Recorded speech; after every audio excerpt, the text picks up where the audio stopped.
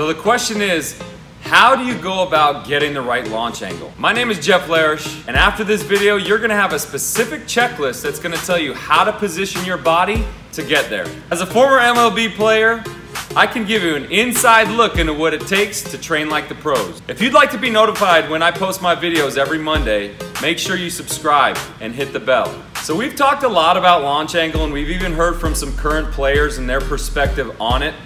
And just to show you that it's not some new concept, here's a clip from Ted Williams. Say to swing level, which isn't too bad. Others say to swing down at the ball, which I think is real bad. But to me, the ideal swing has always been one that was slightly up, slightly up. The reason I say that is because the pitcher throwing the ball to the plate into the strike zone is delivering the ball at somewhere from four to eight degrees of angle.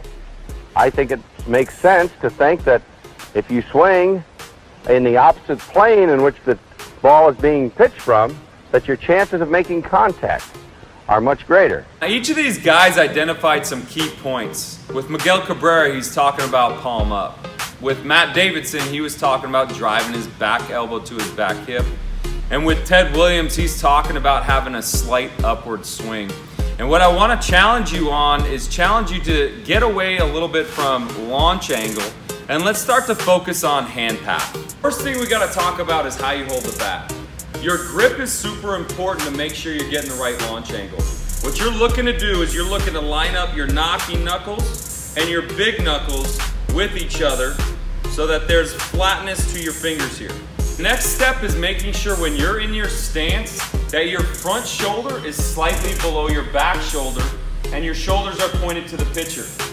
You also want to make sure that your hands, when you stride, are somewhere around shoulder height and just outside your back shoulder. In this position, you also want to make sure that your knob is pointed back towards the catcher. Now, as you go into your attack position, you're to think about driving your back elbow. You're leading with your back elbow and getting it to your back hip. This is to allow you to get that C that Matt was talking about with the hands when you drive down into your attack position.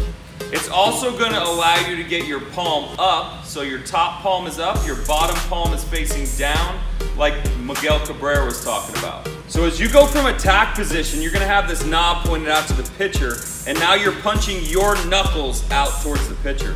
That's going to allow you to get the bat head out and give you the whip to be able to drive through the ball. So as you get down into this attack angle, the barrel of the bat is going to be slightly above the handle.